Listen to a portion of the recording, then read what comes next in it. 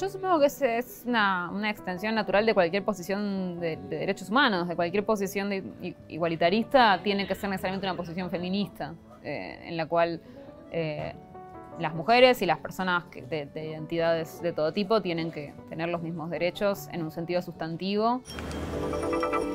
En tiempos de cambio viene bien meternos en los temas que nos importan con más profundidad, escuchar historias que nos enriquecen, tener en cuenta otra mirada alejada del día a día. Los miedos, el amor, el poder, la economía, la psicología y mucho más. Parar, mirar, escuchar. Un tiempo distinto que nos conecte con nosotros. Entre nos.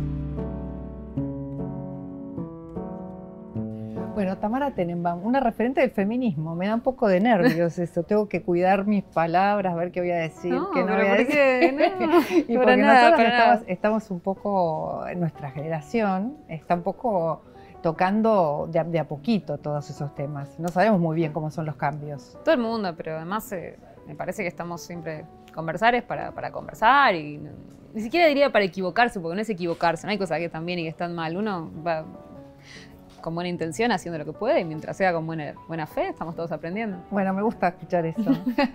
me gusta porque yo creo lo mismo. ¿eh? Creo que si tenemos buenas intenciones y todos vamos aprendiendo a subirnos a este cambio que es bastante fuerte, pero, pero con, con tu libro El fin del amor te sorprendiste porque era como un libro, eh, digamos, que, que escribiste, que era como una conversación con tus amigas y que pusiste ahí todo lo que te estaba pasando realmente a vos, pero te diste cuenta que el éxito que tuvo tiene que ver con que le estaba pasando a mucha más gente, ¿no?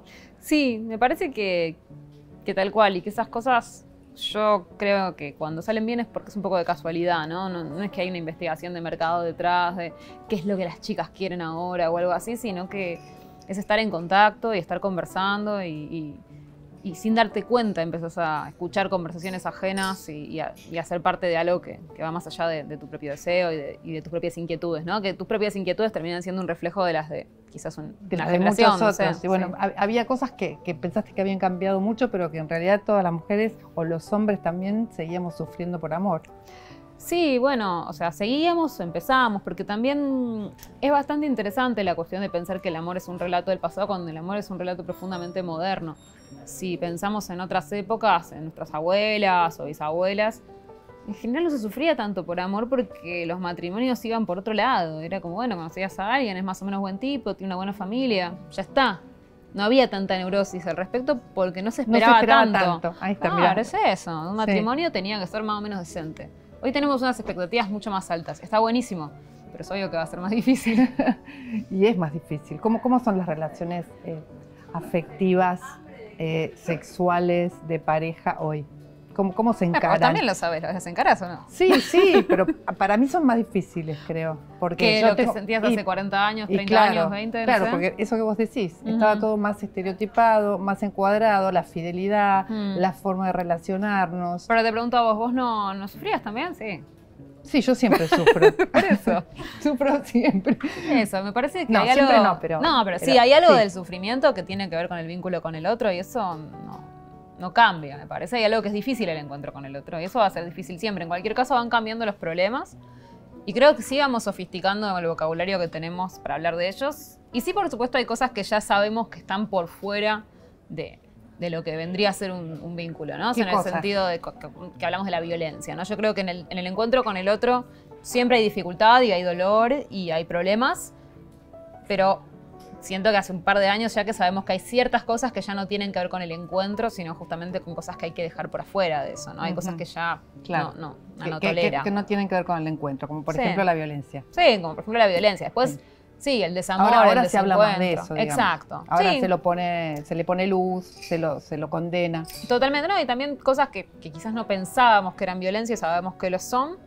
Claro. Pero yo creo que es importante decir que, que- que fuera de eso, igual hay dolor, igual hay problemas, incluso en las relaciones entre dos personas que, que tienen las mejores intenciones. ¿Viste? Es difícil.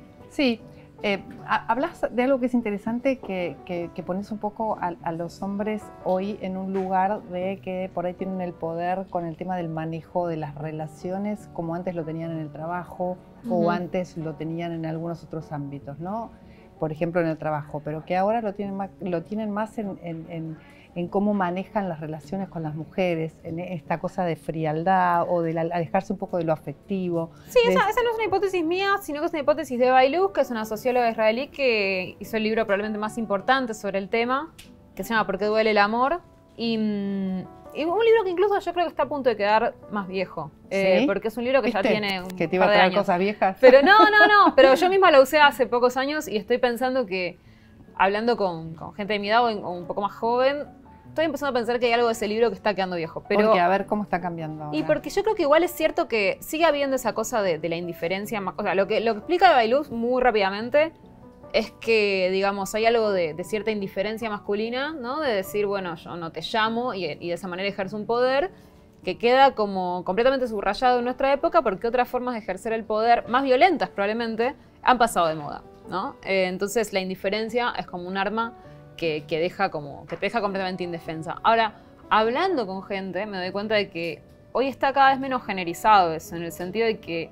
Ah, no tiene que ver con el género. No sé si no tiene que ver con el género, pero me doy cuenta de que los varones también sufren mucho con gente que, que les, hace, lo mismo. Entonces digo, evidentemente... Entonces, ¿con qué tiene que ver? ¿Con que uno no quiere comprometerse, no quiere entregarse para no sufrir? No, no sé realmente, porque me parece que también esas son narrativas que nos inventamos, ¿no? Como este no quiere salir conmigo, pero no se quiere comprometer, no quiere salir conmigo.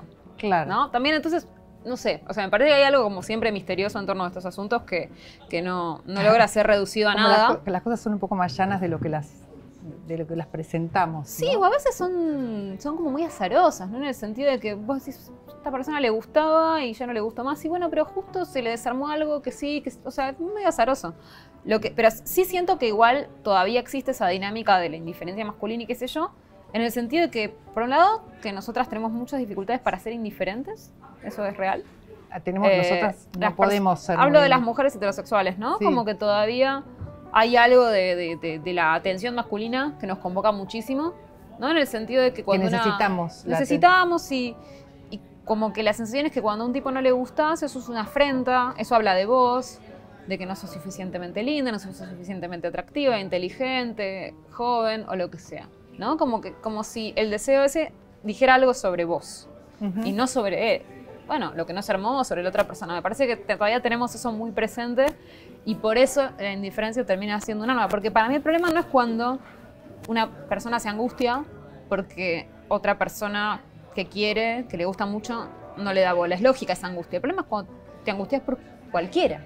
Claro. O sea, ¿no? Como decís, por cualquiera que, no, que no te da bola. Por cualquiera, ni siquiera te gusta mucho, pero, pero necesitas esa validación, ¿no? Y decís, claro. mirá cómo me angustié por este que en el fondo no me gustaba nada. ¿De dónde sales? Y te das cuenta después de que no te gustaba nada porque te olvidas rápido. Claro, las dos semanas no te acordás ni quién es y decís, ¿cómo puede ser que me angustié tanto por esto?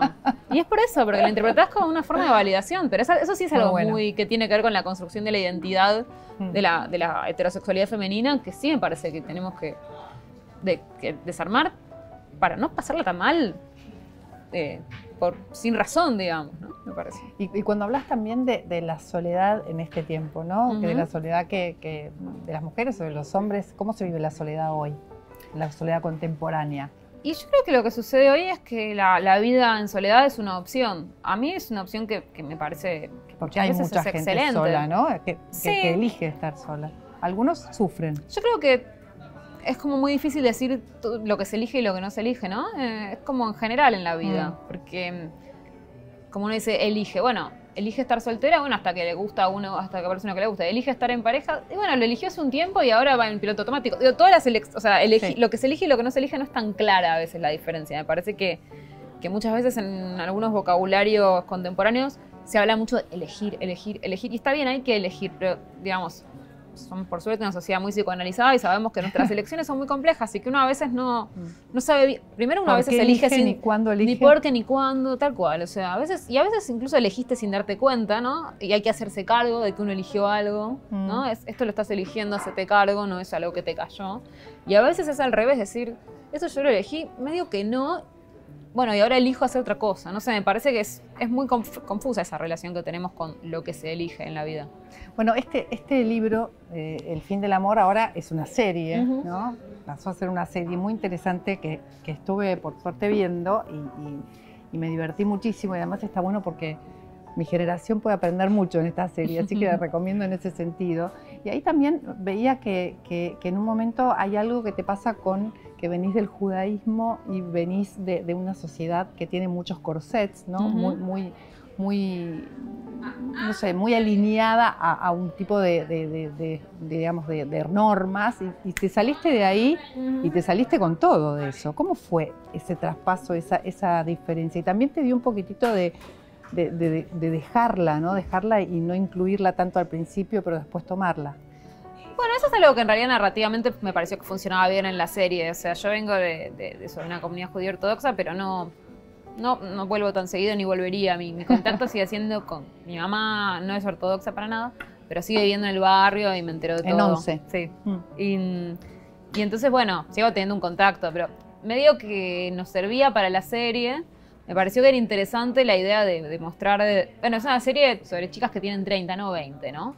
Y me parece que entonces hay algo como ahí de que hay una furia de, los 20, de, de tenerle mucha bronca a todo lo a todo aquello de lo que uno viene, ¿no? A los padres, a, la historia, a todo. Y yo creo que a los 30 hay una, pregunta sobre, bueno, quizás hay algo de esto que hay que perdonar. No sé si volver, pero hay que mm. perdonar como mínimo. Hay que empezar a mirarlo de una forma más amorosa. también, ¿no? También. O sea, en este caso nos sirvió la idea de, un encuentro con la religión para pensar eso, pero en realidad no es algo que haya hecho yo, sino que siento que es algo que, tiene que ver con algo más amplio, con, una, con un camino a la adultez que, que mucha gente que no, no pasó por ninguna religión, igual hace ese camino de perdonar a los propios padres, perdonar a las propias tradiciones, decir, bueno, hay un montón de cosas de esto que no tomo, pero ¿qué voy a hacer con todo esto? ¿Tuviste un cambio grande a los 30? Yo, más o menos, o sea, no, no sé, no sé si a los 30, pero yo tengo 33, o sea, como que siento que, Ahora, que estos años son años como los que veo que tanto yo como, como muchas otras personas están como... Bueno, eso es una edad que me parece que pasan muchas cosas. Sí, ¿no? Sí. pasan cosas, empiezas a ver cosas que antes no veías. Sí, y, también a pensar que, las decisiones que uno toma eh, importan, ¿no? Como me parece que, se acabó el periodo de prueba. Esa es la sensación que uno tiene, que es mentira igual. sí, es mentira. Es mentira. Te aviso que es mentira, que todo el tiempo estás en periodo de prueba, de acá a la eternidad. Por eso, pero es mentira, es como una sensación, como por lo menos de que ya no te atajan tus no padres. No mucho cuenta que pasa el tiempo. No, no, tal cual, por suerte. Sí. Pero, pero es como me parece que pasa eso, ¿no? A los 20 todo parece como, bueno, hay tiempo para corregirlo. Vas aprendiendo, sí. ¿no? Sí, vas aprendiendo y también yo creo que, que bueno, que está bien hacerse cargo igual. Incluso uno empieza, no está siempre en periodo de prueba, pero creo que después de cierta edad, cuando ya no sos un adolescente, es, bueno, ok, voy a probar distintas cosas, de todas me voy a tener que hacer cargo. ya soy un adulto. Y, la novela Todas nuestras maldiciones se cumplieron. Esta es una novela que, habla un poco más también de, bueno, que tu papá se murió en, la AMIA, de, un poco más de, toda esta tradición judía, ¿no? Sí. Ahí, ahí, es em, como que la traes de nuevo, la, la, visitas de otra manera. O sea, me pasó que cuando empecé a escribir El fin del amor, me di cuenta de que había cosas de mi historia que, funcionaban para eso, o sea, algo del judaísmo y las tradiciones, qué sé yo, pero por ejemplo lo de mi papá quedaba afuera, como que no, no venía a cuento en mm. ese libro.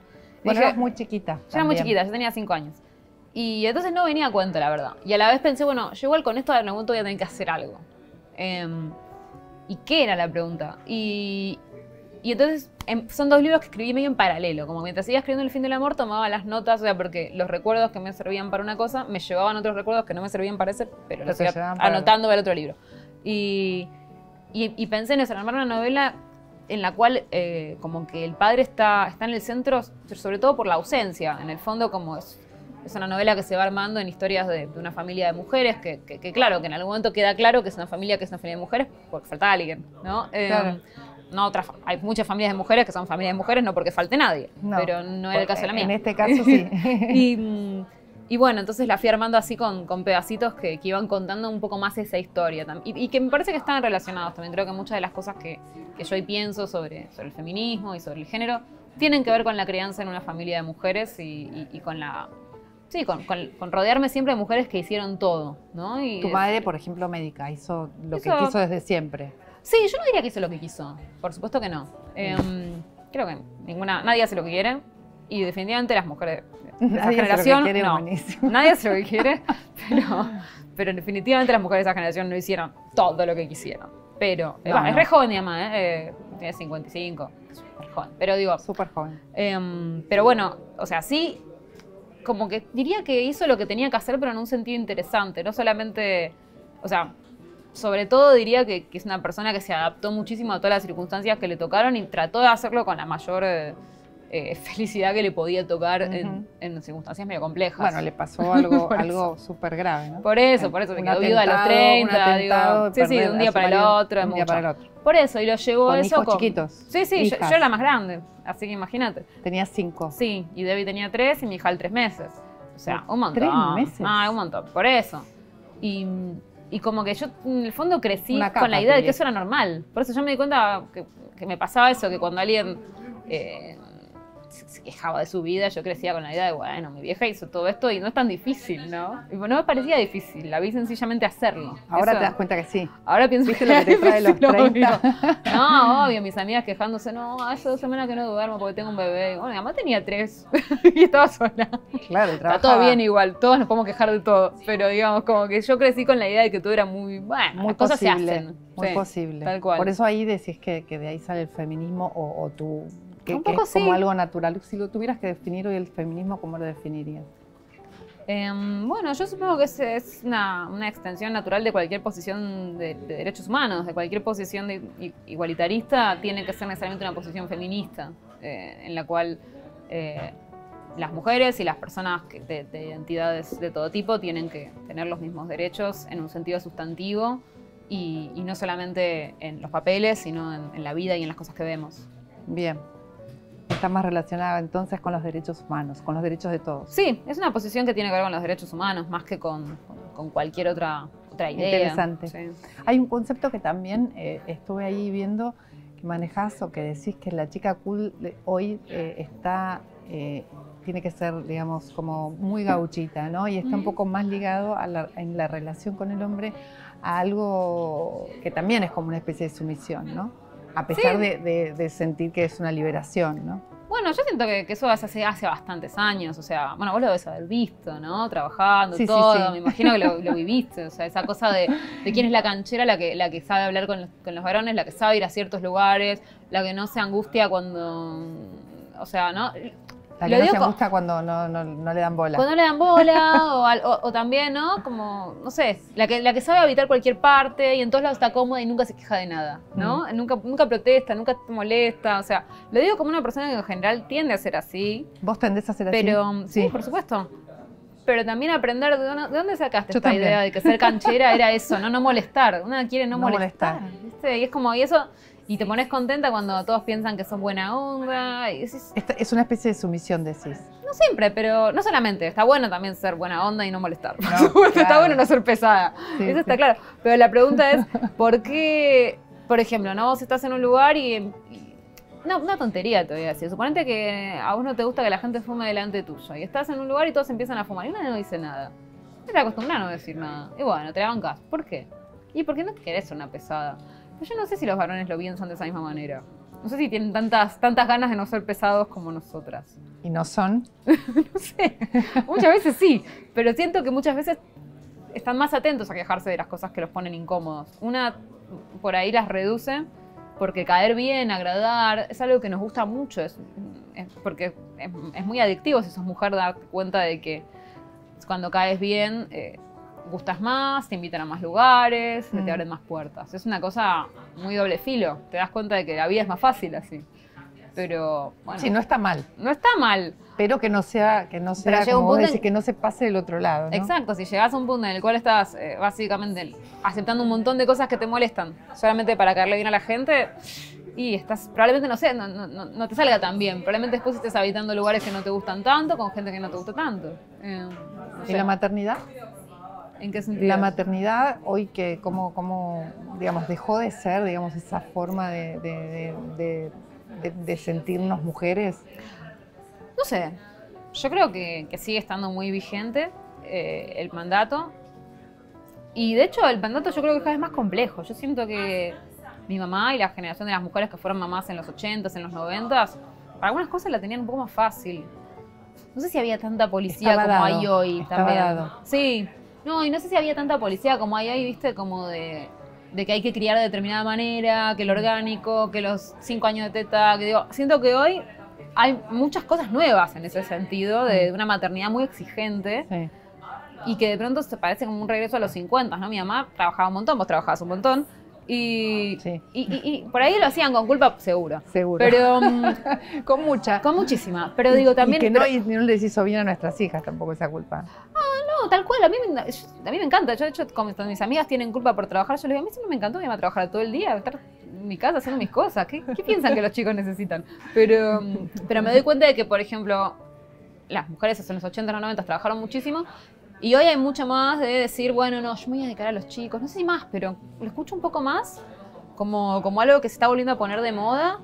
Y, y- mirar un poco mal a las que no lo hacen, o sea, ¿no? A la que no, no, no tiene una maternidad 24-7 como si eso te hiciera peor madre, peor Pero eso mujer, pasa peor menos persona. igual. eh, Yo pa- no sé, pasa, ¿eh? menos, no, pasa menos por ahí que la elección de ser o no ser madre está es menos prejuiciosa ya. Puede ser, sí, sí, nadie te juzga, yo creo, nadie te juzga si no tenés hijos, Claro. eso es cierto. Nadie En te juzga si no los tenés. No Pero si tan- los tenés, te juzgan todo el tiempo. Mm. Es rarísimo. Pero también te dicen, bueno, no te sentís completa, Sí, no te gustaría sentirte Eso sigue estando, plena, ¿no? Y, y pero sobre a lo mejor todo. puede no ser así.